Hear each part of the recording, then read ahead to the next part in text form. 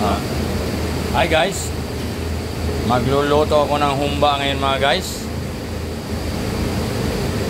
Ayan ang aking sangkap, garlic. Ayan. Ah, sibuyas bombay. Tapos ang brown sugar mga guys. Ang magic sarap.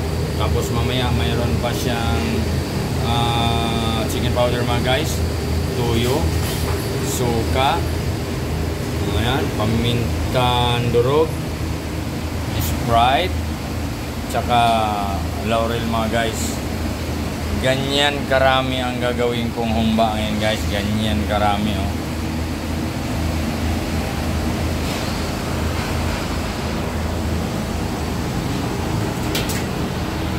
Start na tayo guys. Yan, start na tayo. First, oil.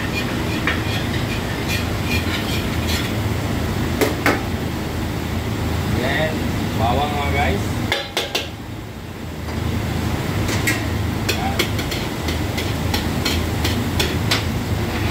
Then, um, sibuyas bombay mga guys. Yan. Lalabasin muna ang aroma mga guys. Pagka nag-brown-brown na siya mga guys, okay na. Pag lumabas na yung amoy ng bawang sibuyas, pwede sabihin, pwede na. Kasi pagka lumabas na yung aroma ng ating pangkisa, dahil ihulog natin ang karne, papasok ngayon sa laman ng karne ang amoy ng bawang sibuyas. Yun ang purpose ng mga guys. Kailangan i-brown mo na siya, light brown. Golden brown. Para kain mo, huwag na swak ng lasa. Diba? Yan. Panoorin nyo mga guys kung paano mag-luto ng kumba mga guys. Panoorin nyo ng buo, pwede nyo nang gayahin. Pagka napanood nyo na, pwede, nyo na rin gawin sa bahay. Yan, oh. kulay brown na mga guys. Iuulog ko na ang karne mga guys. Ayan, ayan mga guys. Diba? Yan.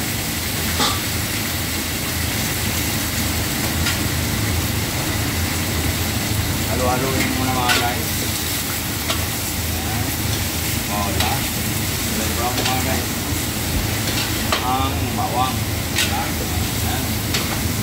Kita-kita mo na. Kita-kita.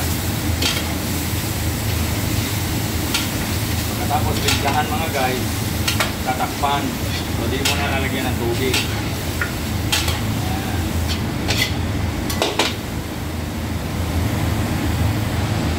Yan na guys. So, nagisa naman siya ng mabuti. Pwede nang ilagay lahat ng mga tangkap.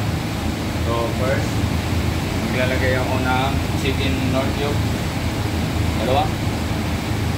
Tapos chicken powder. Ayan. Tapos, ang magic sarap mga guys. Ayan.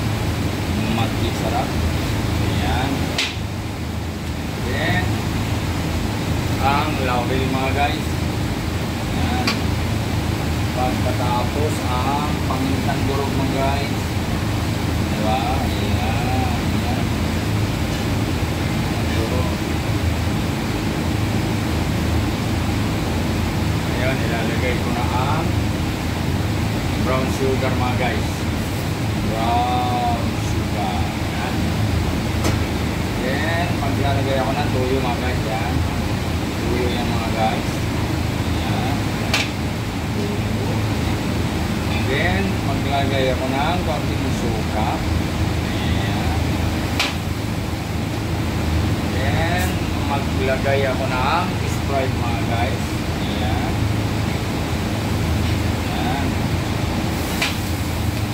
Pagkatapos, halo-haloin mga guys.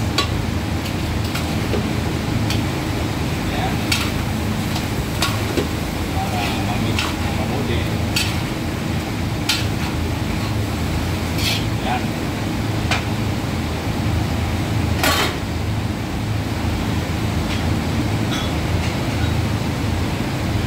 Maglalagay ako ng dark soy sauce mga guys.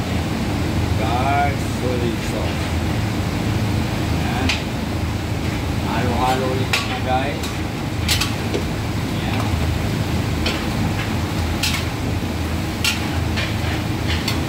Ayan, sauce mga guys. Pagkatapos tatakpan siya mga guys, mamaya na sa lalagyan ng tubig. Hayaan mo na kumulo mga guys.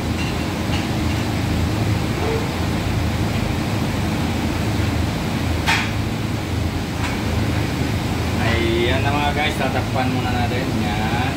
Okay.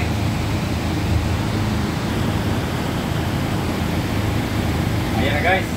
So, kumba na talaga sa tignan, no? Ngayon, kailangan natin siyang palambutin within 30 minutes. So, maglalagay tayo ng tubig. Para pampalambot lang yan. Ang purpose ng tubig, pampalambot. Pero ang lasa guys, kung anong nilagay kong timpla kanina, yun na yun ang lasa nun guys. Hindi na mababago. Tinikman ko mga guys, masarap na talaga siya. So, okay na. Ayan na guys. Wow, luto na ang ating kumba mga guys.